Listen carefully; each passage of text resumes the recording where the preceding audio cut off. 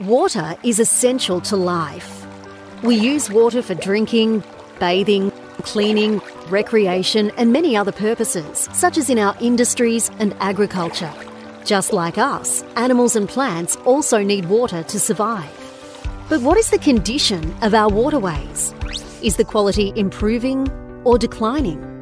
The only way to tell, of course, is to test it and to look at those results in an annual River Health Report card.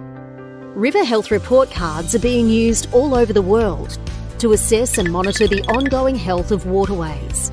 Fitzroy Partnership for River Health developed Queensland's first regional report card from 2011, and more recently, other report cards up and down the coast have also been developed. These regional reef report cards all feed vital information on the health of water entering the Great Barrier Reef into the government's Reef 2050 plan reporting.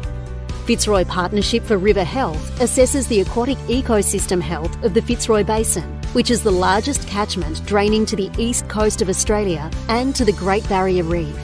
It is a tremendous expanse of land that includes more than 20,000 kilometres of waterways, broken up into 12 reporting areas. So, ongoing monitoring and reporting is essential to determine how our waterways are functioning over time. Our partners contribute data and funding, and together we provide a comprehensive picture of the health of Fitzroy Basin waterways.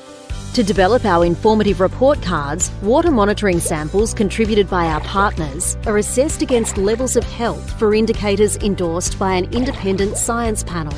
Then, indicators are grouped into four categories physical and chemical, nutrients, toxicants, and ecology. Finally, the results from each category are combined to provide an overall grade for each subcatchment and for the whole Fitzroy Basin. Want to see the latest River Health Report card? You can view it now at riverhealth.org.au.